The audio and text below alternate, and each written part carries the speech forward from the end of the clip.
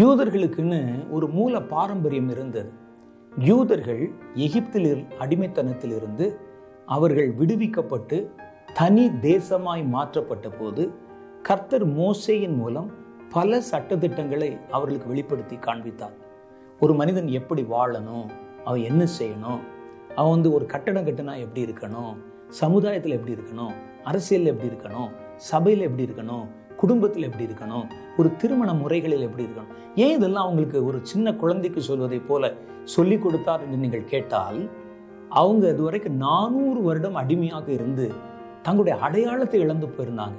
நானூறு வருஷ வரலாறு என்பது எவ்வளவு நீண்ட வரலாறு என்று நீங்கள் யோசிச்சு பார்க்கணும். நானூறு வருஷத்துக்கு பிறகு இருக்கிறவன் தங்களுடைய பாரம்பரியத்தை தங்களுடைய அஹ், தங்களுடைய முற்பிதாக்களை சரித்திரத்தை குறித்தெல்லாம் அவனுக்கு ஒன்றும் தெரியாது.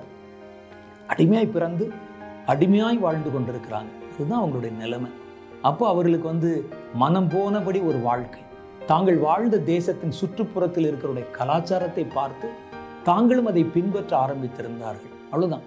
அதனால இவங்களை அங்கிருந்து வெளியே கொண்டு வந்த போது கர்த்தர் ஒரு புதிதாய் பிறந்த குழந்தைக்கு சொல்லிக் கொடுப்பதை போல சின்ன சின்ன விஷயங்களை கூட அவங்களுக்கு சொல்லிக் கொடுக்க வேண்டிய ஒரு சூழ்நிலை இருந்தது. அதைத்தான் கர்த்தர் வந்து அவர்களுக்கு பாரம்பரியங்களாக அவங்க கடைப்பிடிக்க வேண்டிய காரியமாக அவருடைய வாழ்க்கையை முறைப்படுத்துவதற்கு பல காரியங்களை கற்றுக் கொடுத்தார். அதில் யூதர்கள் கடைப்பிடிக்க வேண்டிய அவர்களை ஒழுங்குபடுத்த நல்வழிப்படுத்த அவங்கள வந்து யூனிஃபார்மாக அவங்கள வந்து ஒரு தேசமாக மனம் போனபடி வாழாதபடிக்கு ஒரு கட்டுப்பாட்டுக்குள் கொண்டு வருவதற்கு பல கட்டளைகளை கொடுத்தார். அந்த கட்டளைகள் பாரம்பரியங்கள் என்று சொல்லப்படுகிறது. யூத பாரம்பரியங்கள். இந்த யூத பாரம்பரியங்கள் ஒரு காலத்துல யூதர்களுக்கென்று விசேஷமாய் கொடுக்கப்பட்டு யூதர்களால் அவர்கள் கண்டிப்பாய் கடைபிடிக்கப்பட வேண்டும் என்று சொல்லி அது சட்டதிட்டமாக்கப்பட்டிருந்தது. அது அந்த முறைகள். இயேசு வந்தபோது இயேசு இப்போ என்ன செய்கிறாருன்னா ஒரு யூத இனத்திற்கு மாத்திரமல்ல ஒரு இஸ்ரவேல் பன்னெண்டு கோத்திரங்களுக்கு மாத்திரமல்ல அகில உலகத்திற்கும் அவர் தேவனாக தன்னை வெளிப்படுத்தி அவர் தேவனுடைய மார்க்கத்தை உலகத்தில் ஒரு பொதுவான வழியாக மாற்றினார். இப்போ பல்வேறு கலாச்சாரத்தை சேர்ந்த பல்வேறு இடங்களைச் சேர்ந்த ஜனங்களுக்கும் ஏற்ற ஒரு கட்டளைகளை கொடுக்கணும். அப்போ கர்த்தர் இயேசு கிறிஸ்து இந்த புதிய ஏற்பாட்டு கட்டளை என்ற கட்டளைகளை கொடுத்தார். இந்த கட்டளை தான் இயேசு கிறிஸ்துவை பின்பற்றுகிறவர்கள் கடைபிடிக்க வேண்டிய கட்டளைகள்.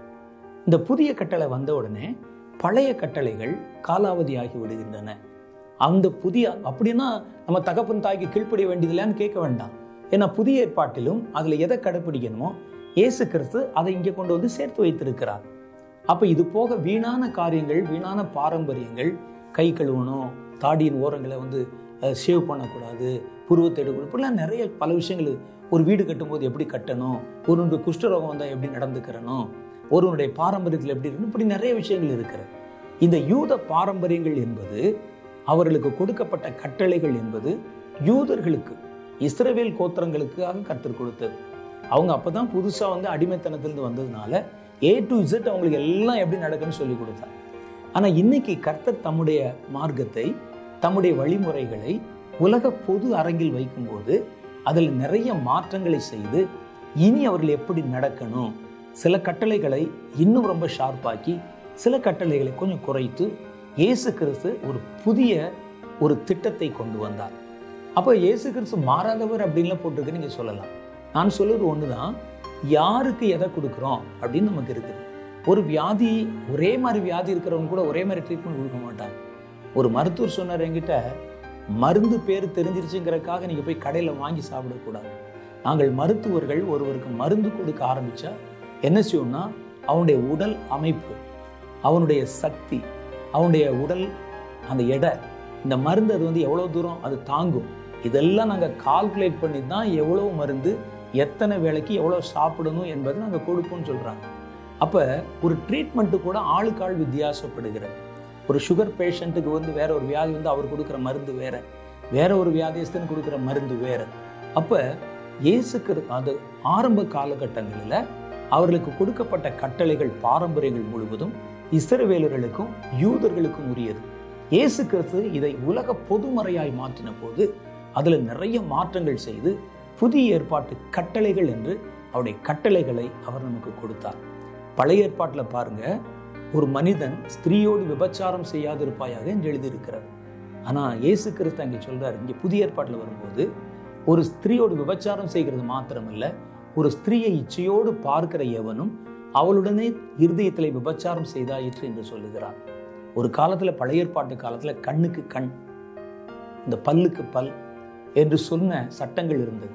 இயேசு கிறிஸ்து சொல்லுகிறார் ஒரு காலத்தில் அங்கே பூர்வத்தாருக்கு உரைக்கப்பட்டது கண்ணுக்கு கண் பல்லுக்கு பல் என்று. ஆனால் நான் உங்களுக்கு சொல்லுகிறேன் உன்னை ஒருவன் ஒரு கன்னத்தில் அறைந்தால் நீ அவனுக்கு மறு கன்னத்தை காட்டுவாயாக என்று.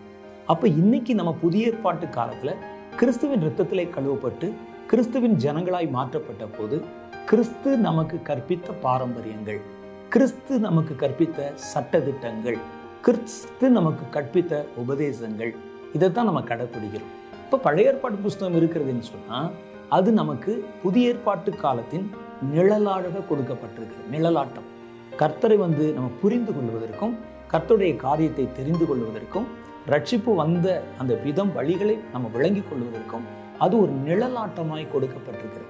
நிழல் என்பது வேறு நிஜம் என்பது வேறு. ஆனால் நிஜத்தோடு நிழலும் சேர்க்கப்பட்டால்தான் அந்த நிஜம் என்பதனுடைய முழு அர்த்தத்தை முழு பரிமாணத்தை நம்ம பார்க்க முடியும். நீங்க நல்லா பாருங்க.